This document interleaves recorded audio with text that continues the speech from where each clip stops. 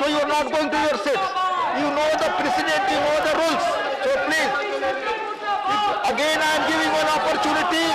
आपसे फिर मैं अनुरोध कर रहा हूँ अगर आप वोटिंग चाहते हैं अपनी सीट पर जाइए जो रूल्स ऑफ़ प्रेसिडेंट है उसके अनुसार आप जानते हैं यह हाउस जिन नियमों से चल रहा है शुरू से उसी को मैं फॉलो कर रहा हूँ आपने स्पीकर का नाम नहीं दिया Shri Narendra Singh Tomar to move that the bill be pass चाहता हूँ विधेयक को पारित किया जाए। Motion move the bill be pass ये the question is the bill be pass those in favour UP से आए दो अगेंस्ट यूपी से no I think the ayes have it the ayes have it the ayes have it the bill is pass bill में खड़ा होकर के no कहने का कितना अधिकार है आप जाने।